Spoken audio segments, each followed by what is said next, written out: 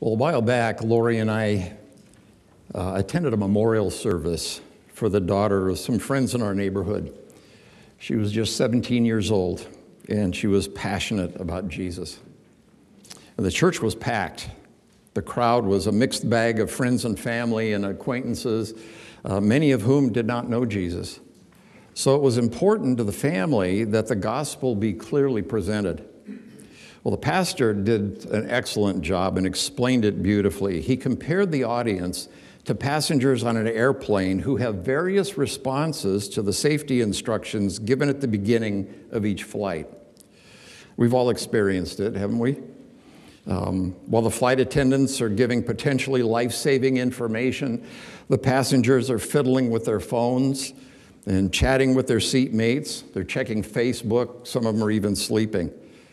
Only a few are actually paying any attention to where the, the exits are located or what to do in the event of an emergency.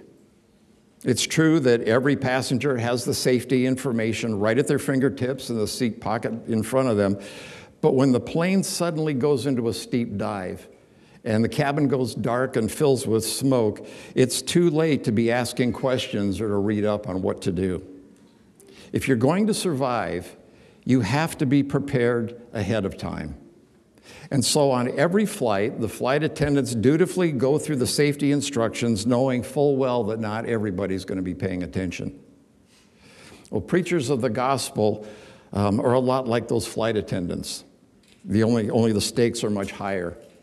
The chances of experiencing an in flight emergency on an airplane are minuscule but the chances of every one of us someday stepping out of this world and into eternity is 100%. The last time I looked, the ratio of births to deaths for humans was one to one. The preacher's job is to give people the information they need to prepare for that day in the hope that they will pay careful attention and take it to heart. Because you see, your eternal destiny depends entirely on how you respond to the gospel of Jesus Christ. Well, there were no airplanes in Jesus' day, but people were no different then than they are now. Jesus explained the reasons for the different responses people have to the gospel in the parable of the soils in Luke 8, um, verses 4 through 15. And uh, by the way, our plan is to continue with this study of the Gospel of Luke. We may pick up the pace a little bit, but um, we're going to stick with this with study. Well, Luke chapter 8, starting with verse 4. And when a great crowd was gathering and people from town after town came to hear him, uh, he said in a parable A sower went out to sow his seed, and as he sowed, some fell along the path and was trampled underfoot, and the birds of the air devoured it and some fell on the rock. And as it grew up, it withered away because it had no moisture. And some fell among thorns, and the thorns grew up with it and choked it. And some fell into good soil and grew and yielded a hundredfold. Now, as he said these things, he called out, He who has ears to hear, let him hear. Now, there were probably lots of reasons why people came out to hear Jesus speaking that day, whether they were desperately seeking for God or just wanted to be entertained. Uh, they came to hear him in droves. Big crowds gathered. Now, a regular feature of Jesus' preaching and teaching was that he gave a lot of illustrations using parables. And, and this parable is a little unusual in that there's nothing really unusual about it. Um, it, there's no ironic twist at the end, there's no unexpected climax. And in that agrarian society, most everyone was familiar with the whole process of sowing crops and, and planting seeds. They knew from experience that a, a, certain percentage of the seeds would not grow and yield a harvest for the various reasons that Jesus just described. But Jesus understood that not everyone who was coming to hear him preach thought he was the Messiah, the Son of God. They were curious about what he had to say. Some came hoping to be healed. Others expected to see a miracle or two. Others just wanted to hear his stories. So, as he was sitting there watching the people arrive, he begins to reflect on the different responses they'll have when they hear the gospel. And even though they all will hear the same words, they won't all respond in the same way. And it was important for his disciples to know that. It's important for us to know that, who share the gospel with those around us. So, as the crowd gathered, Jesus tells this parable about four soils. Let's read it again. A sower went out to sow, went out to sow his seed, and as he sowed, some fell along the path and was trampled underfoot, and the birds of the air devoured it. And some fell on the rock, and as it grew up, it withered away because it had no moisture. And some fell among thorns, and the thorns grew up with it and choked it. And some fell into good soil and grew and yielded a hundredfold. As he said these things, he called out, He who has ears to hear, let him hear. Now, farming was a little different uh, back in Jesus' day than it is in our day. In ancient Palestine, sowing preceded plowing. We do it just the opposite. But sowing preceded plowing. The farmer would first prepare the field by clearing out all the large rocks and stones, and then he'd pile them up around the edges. Um, and then he would walk through the field with a bag of seed over his shoulder, and then using both hands, he'd just scatter the seeds over the, the land that he'd prepared. Now, this wasn't precision work um, at all. Some of the seed would fall into the hard packed path next to the field where passersby would just trample on it. The birds would come and eat it. Some seed fell where there was only a thin layer of topsoil covering the rocks just below and just below the surface. So when the seed sprouted and began to grow, it quickly withered in the heat of the sun because it had no roots and, and no moisture. Some of the seed fell into the uncultivated fringe around the edge of the field where it failed to flourish and was soon choked out because it couldn't compete with the weeds and the thorns. But most of the seed, the vast majority of it, fell on the good soil, which is where the farmer intended it to land. Now, once he'd scattered the seed, then the farmer plowed the field to till the, the seeds into the soil, and then he just waited while he was expecting a harvest of a hundredfold. Now, Matthew and Mark, in their accounts of this, of this um, parable, say that the field produces 30 and 60 and 100 fold. That's, that's not an unusual expectation. Except for Jesus' last statement, this parable is just a nice story. But that last statement, he who has ears to hear, let him hear. Everyone in the crowd heard the parable and could relate to the details, but not everyone understood what he was getting at. All the speaker can do is get the message from his mouth to the listener's ears. And then it's the Holy Spirit's task to take those words from that person's ears to his heart and to his mind. These are the ones who have the ears to hear. And the disciples knew there was more to this story than meets the eye, so later they asked Jesus to explain it to them. Verse 9 And when the disciples asked him what this parable meant, he said, To you it has been given to know the secrets of the kingdom of God, but for others they are in parables, so that seeing they may not see, and hearing they may not understand. Now, the others that he's referring to are just those in the crowd. But they're only intrigued and entertained by Jesus' stories, and with that, they're satisfied. They've, they've gotten what they came for. Now, Matthew expands on Jesus' answers to the disciples' questions in his account of this parable in Matthew 13, verses 13 through 15. Matthew says this This is why I speak to them in parables, because seeing, they do not see, and hearing they do not hear, nor do they understand. Indeed, in their case, the prophecy of Isaiah is fulfilled that says, You will indeed hear, but never understand. You will indeed see, but never perceive. For this people's heart has grown dull. And with their ears they can barely hear, and their eyes they have closed lest they should see with their eyes and hear with their ears and understand with their heart and turn, and I would heal them.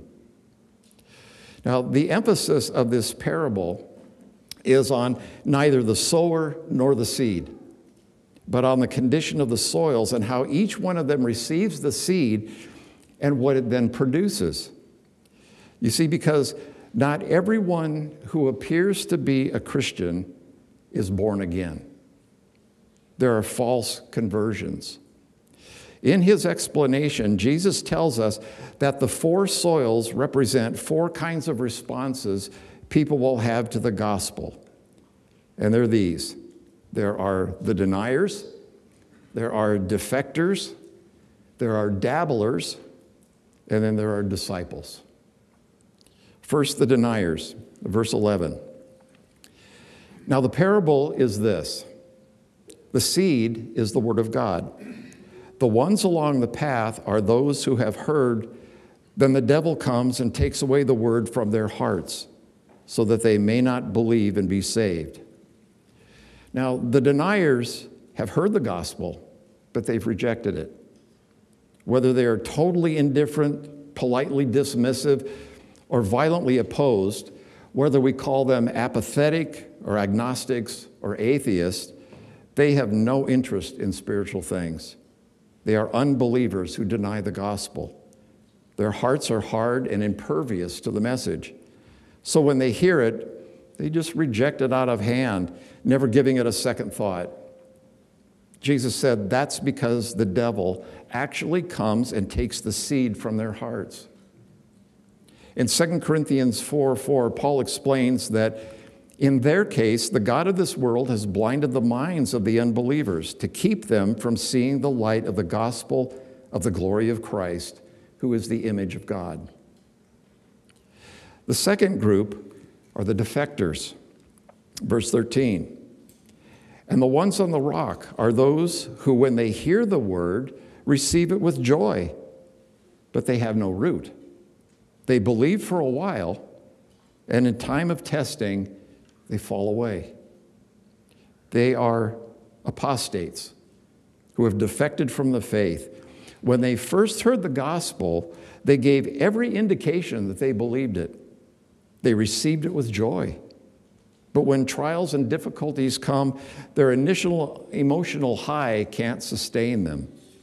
They have no root, no depth of understanding, no spiritual vitality, and when they find out that becoming a Christian doesn't bring them the health, wealth, and prosperity some teaching, some TV evangelist told them that they would receive, when they find out that the trials of life press in on them, their faith quickly withers and dies. They are defectors who fall away and they're lost. Where there's no root, there's no fruit.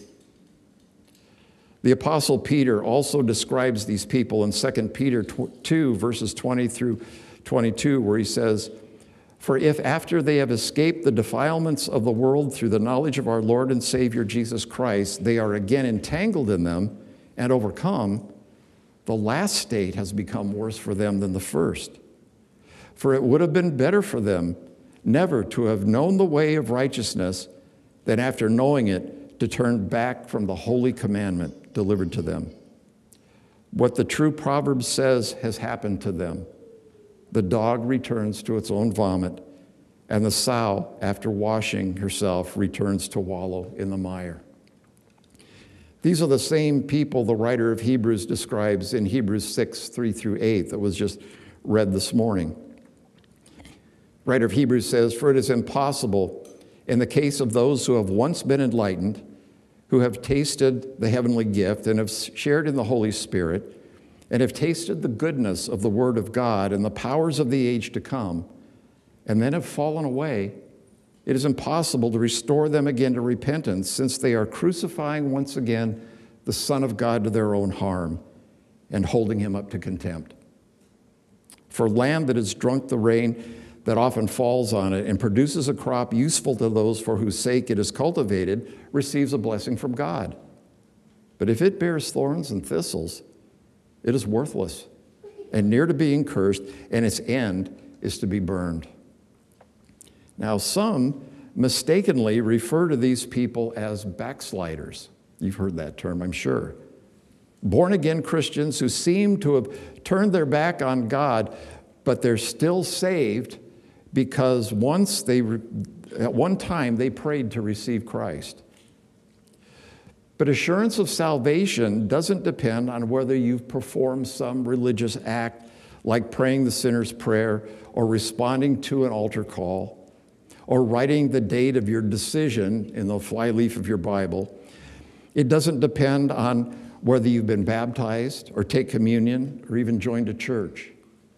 Assurance of salvation is based solely on believing and obeying the gospel not on something you did one day long ago when you were a child, but on what you believe about Jesus Christ right now, today.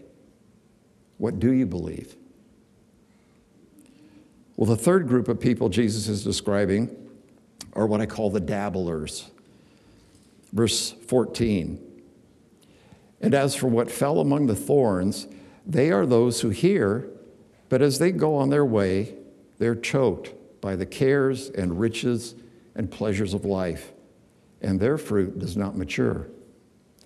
Now, dabblers are an interesting bunch. They are nominal Christians. They're Christians in name only. They are the, the goats among the sheep, the tares among the wheat. They are false brothers. They have an intellectual understanding of the gospel, and like the defectors, they've made a profession of faith somewhere along the way. But instead of falling away, they just hang around the church, around the edges, and they dabble in spiritual things, but they never grow, they never mature, they never change. They're relatively good people, much like their neighbors. They give lip service to the importance of their faith, but there's nothing distinctive about their lives that would identify them as a follower of Jesus Christ. The things of this world consume their time and energy. Things like politics, finances, hobbies, careers, family, health. These aren't bad things by any means, but all of them seem to be more important to them than the pursuit of righteousness and godliness and personal holiness. Their spiritual life and vitality have been choked out by the weeds and thorns of this world. Now, Jesus lists three fatal distractions that choke out their spiritual growth. First, he mentions cares. This is just general anxiety and worries about life. It's being constantly pulled in different directions by competing priorities and demands on our time and energy and resources. Some call this the tyranny of the urgent. Second, Jesus mentions riches. People are focused on seeking wealth and financial security, acquiring earthly goods and possessions. What do we eat? What do we drink? With what do we clothe ourselves? They cannot serve God because they worship money. And then, third, Jesus mentions the, the pleasures of life, pursuing leisure and comfort, recreation, and just wanting to enjoy the good things. A telltale sign of a dabbler is that when things get really busy and the pressures of life start squeezing in, the first thing they drop from their schedules are the things of the Lord. They skip church because they planned something else for Sunday mornings. They're too busy to join a small group. They can't serve because they've got more important things to do. They're committed to their church as long as it doesn't interfere with their other priorities. Those are dabblers. The Apostle John calls these priorities the, the desires of the flesh, the desires of the eyes, and the pride of life. And he said that they are all that is in the world. And that if these are your priorities, if these are the things that you love, then the love of the Father is not in you. This is idolatry. There's no fruit, these spiritual dab- dabblers are choked by the weeds and they eventually die out. Hebrews 2 1 through 3 says, Therefore, we must pay much closer attention to what we have heard, lest we drift away from it. For since the message declared by angels proved to be reliable, and every transgression or disobedience received a just retribution, how shall we escape if we neglect such a great salvation? Now, you may be thinking, Denny, from what you're saying, it sounds to me like it's possible for someone to lose their salvation. And some have taken it to mean just that, but please don't misunderstand. This is not what Jesus is talking about by any means. What he's teaching here is that not all conversions are true conversions. Some conversions are spurious and give no evidence of being genuine. Jesus is not giving us examples of people who have lost their salvation. You cannot lose what you never had. And by the same token, you can never lose what God has guaranteed to give to you and seal it with an oath. Jesus is describing people who claim to be believers and self identify as Christians, but their lives give no evidence that they've been born again and that they have eternal life. There's, a trem- there's tremendous pressure from our morally depraved, politically correct culture to embrace the notion that you're free to be whatever you imagine yourself to be and can self identify as something that you're not, regardless of all the evidence to the contrary. In the same way, identifying as a Christian doesn't mean that you are one, especially when there's no evidence to back up your claim. Jesus said, You shall know them by their fruits. And in each of the responses that we've examined so far, the deniers, the defectors, and the dabblers, there's no fruit to examine. But then we come to the last group, the disciples. Verse 15 As for that in the good soil, they are those who, hearing the word, hold it fast in an honest and good heart and bear fruit with patience. Now, these are authentic Christians. These are the ones who hear the gospel, take it to heart, and their lives are transformed. They are born again and genuinely converted. They, are, they hear the gospel, they believe the gospel, and through faith and perseverance, they bear fruit for the gospel and they endure to the end. There's not, theirs is not just an intellectual understanding of the gospel, they believe it with an honest and good heart. Does that strike you as odd? An honest and good heart? Because it seems that whenever we talk about the condition of our hearts, someone will invariably bring up Jeremiah 17 9, which says, The heart is deceitful above all else and desperately wicked. Who can know it? In other words, even if you are a Christian, even if you're a Christian, there's nothing more deceitful and wicked than your own sinfully malignant heart, and that malignancy is incurable. It seems to me that a deceitful and desperately wicked heart is the polar opposite of an honest and good heart. In fact, the two descriptions of the human heart are diametrically opposed, incompatible, and mutually exclusive. It's either one or the other. It can't be both. So what Jesus so what is Jesus talking about here? Well, there's a, there's a basic principle of biblical interpretation that I want you to grasp. And you'll hear it now, you'll probably hear it again. The principle is this if you find something in the Bible that conflicts with what you believe, you need to change what you believe so that it conforms to the Bible rather than trying to force the Bible to conform to what you believe. See, Jesus tells us that if you're a believer, you have an honest and good heart. What is the honest and good heart? And where does it come from? Well, it's promised to us as a, as a free gift in the new covenant. In Ezekiel 36, verses 25 through 27, God details eight things that He does to us when we are born again. Eight things He does to us miraculously in what we call regeneration. He says this I will sprinkle clean water on you, and you shall be clean from all your uncleannesses. And from all your idols I will cleanse you. And I will give you a new heart, and a new spirit I will put within you. And I will remove the heart of stone from your flesh. That's the Jeremiah 17 heart. And I will give you a heart of flesh. That's the honest and good heart that Jesus is talking about here. And I will put my spirit within you and cause you to walk in my statutes and be careful to obey my rules. You can go back and listen to this again and count them. It's eight things. This is a, description of the reality of the miracle of regeneration. That's what happens to us when we're born again. You have an honest and good heart if you're a believer this morning. You've been given a new heart a heart sprinkled clean from all the defilement of sin and unrighteousness, no longer a cold, dead heart of stone, but an upright and tender heart of flesh fully devoted to loving and serving Christ.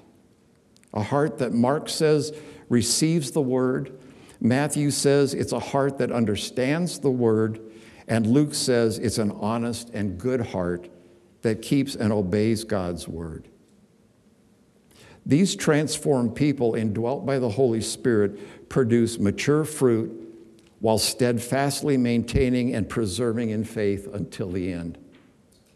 When the Word of God is proclaimed, those who have ears to hear must respond in faith and repentance in order to be saved.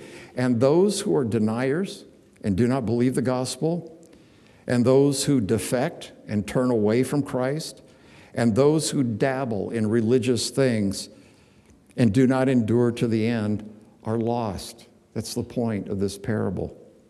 Only those who hear the gospel and receive it with an honest and good heart and persevere to the end will be saved. Would you pray with me? We thank you, Father, for the clarity of this simple story that Jesus told to these gathering crowds that um, came to hear him speak. We pray, Father, that we would be among those this morning who have ears to hear and would listen, and that the seed would be implanted within us, and that we would receive it with an honest and good heart. We pray these things in Jesus' name. Amen.